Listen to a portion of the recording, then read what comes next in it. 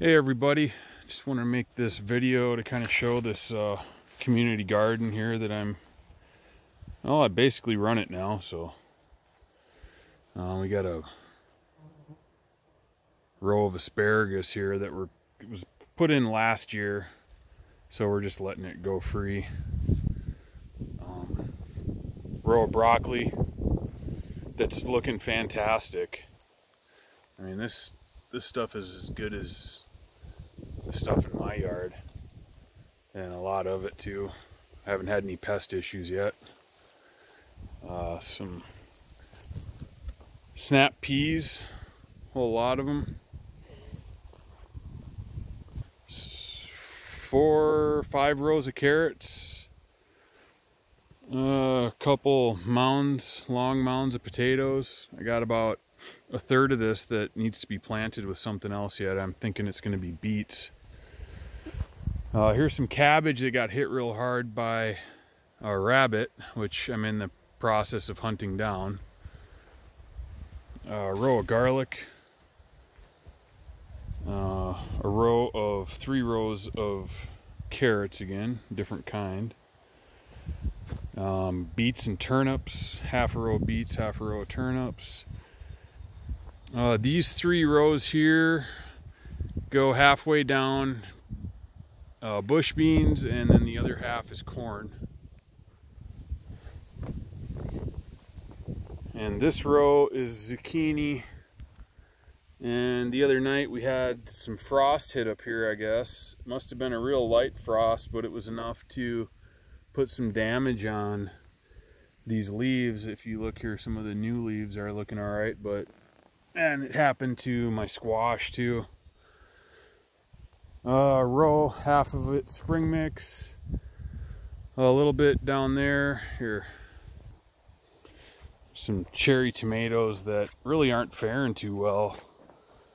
Um, I think the frost hit them and transplant shock and you know one of them here this one's completely dead but I got a little bit of space left there I think I'm gonna throw some more beets in um, some more lettuce, uh, partial row onions, which I'm going to fill in with more onions once they get a little bigger. Uh, I've got some kale here, a little bit more cabbage, which was also hit by a rabbit. And the rest of that row is going to be more onions. Um, this row is Muscovies, uh, tomatoes, which I'm going to experiment with this Florida weave method of trellising. I almost thought this looked like it was... Oh, it's busted. Son of a bee. Must have been from the wind. And here yesterday I planted... It's basically one big row with four rows in it. Uh, half of it's beans and half of it's corn again. Kind of stagger the plantings. This is all strawberries from last year. And right here, I just prepared using the BCS. Um, just getting it ready for something. Not quite sure what yet, but uh, just wait. That's not it. We got this hoop house here that's still under construction, but mainly it's just the facades and some sidewalls, and then of course the plastic. So decided to plant in here. I got some tomatoes, intermixed with some radish and basil. Over here, I'm waiting on my cucumbers to get a little bigger, but I'll be putting cucumbers in here.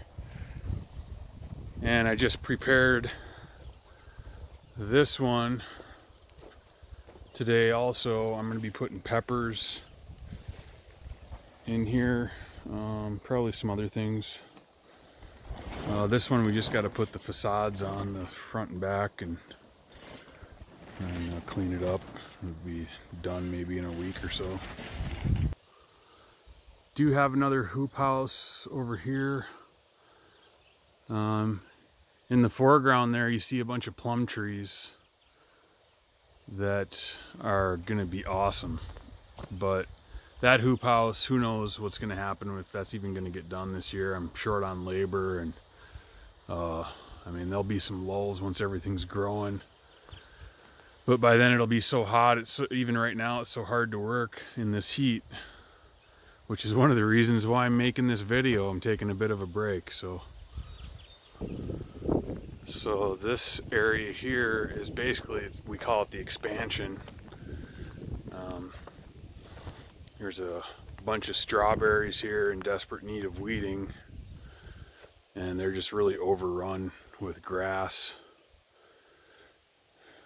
And this is all, this area that I've prepared here is all going to be squash, different types.